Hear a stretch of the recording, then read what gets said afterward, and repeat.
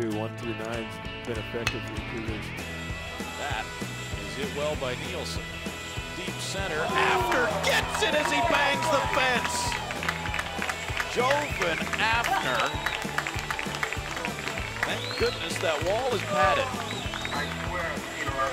Just an outstanding play by Afenir. Ball over his head, had to take his eye off it. Gets back, knows where the roaring track is, where the wall is, and saved at least two bases right there.